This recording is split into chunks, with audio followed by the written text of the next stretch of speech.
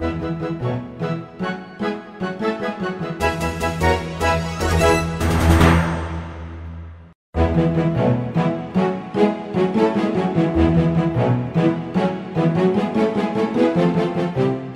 Nucía ha tenido un descenso de un 6% en cuanto a delitos y faltas del año 2013 con respecto al 2012 y otra parte importante es que hemos tenido un aumento de la efectividad policial de un 26%. Por lo tanto, yo destacaría esas dos cifras porque son eh, lo que significa que se está trabajando correctamente y sobre todo que hay una magnífica coordinación y colaboración que creo que muchas veces es eh, parte importante para que al final se consigan estos buenos resultados. También hay que destacar pues, que en ese convenio de, de la, para intentar prevenir la violencia de género que también se está trabajando, es un tema que actualmente pues, preocupa a todos los organismos públicos, en este caso el Ayuntamiento de Andalucía por supuesto que también, y ese convenio va a permitir por intentar ser más efectivos, ser más rápidos y sobre todo intentar eh, poner todos los medios posibles para que la prevención sea cada vez mayor y tengamos menos incidencia como así ha sucedido. Por lo tanto, desde el Ayuntamiento estamos agradecidos a la subdelegación, a la Guardia Civil y a la Policía Autonómica por la colaboración. En cualquier caso, en cualquier momento que el Ayuntamiento ha requerido colaboración, apoyo, coordinación, la hemos tenido